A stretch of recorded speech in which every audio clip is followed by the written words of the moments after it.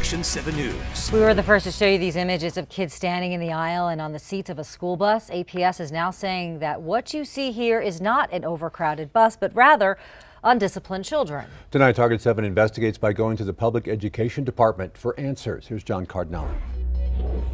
These parents say they were outraged when they saw their children coming off of packed buses on the first week of school. This is ridiculous. Kids, these kids are sitting on top of the seats, windows rolled down. Someone's gonna fly out. And why can we not get another bus out here? After our story aired showing these images, Target 7 did some digging. We wanted to know if there are laws that govern bus overcrowding, so we went to the state's Public Education Commission to find out. There, there's a regulation that that states if they're gonna do uh, three three seating, which is three three students to a seat, um, each student should have uh, 13 inches of butt space, essentially. That means buses like this can fit 71 elementary school children.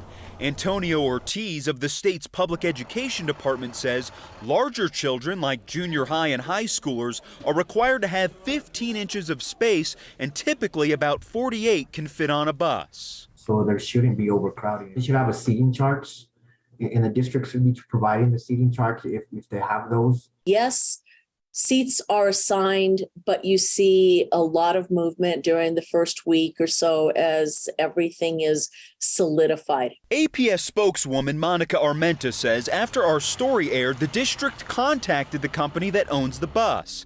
The district contracts with six different bus companies to transport children back and forth to school. She says that they don't believe that particular bus was overcrowded.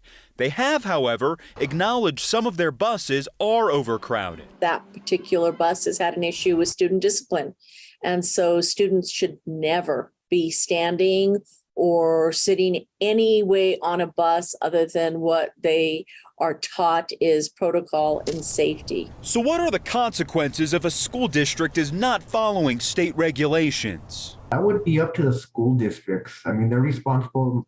Every school district has a transportation director and transportation staff. And so it would be up to the school district to make sure that they're following those laws. We also reached out to the Albuquerque Police Department. In this email, they tell us there is no statute in the state's traffic laws to pull over a bus if it's overcrowded. However, right after we get off this uh, this interview, I'll be reaching out to uh, the transportation director there at APS and just to discuss some of their issues, what they're dealing with.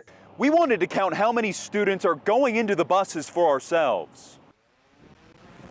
So Target 7 set this drone above the school to see how many students are going onto the buses. This is one of the schools parents say had overcrowded buses.